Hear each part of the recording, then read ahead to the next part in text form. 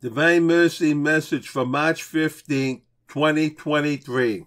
I know your heart. Jesus speaks to Saint Maria Faustina during Lent 1937. Today I received some oranges. When the sister had left, I thought to myself, should I eat the oranges instead of doing penance and mortifying myself during Holy Lent? After all, I am feeling a bit better. Then I heard a voice in my soul. My daughter, you please me more by eating the oranges out of obedience and love of me than by fasting and mortifying yourself of your own will. A soul that loves me very much must ought to live by my will.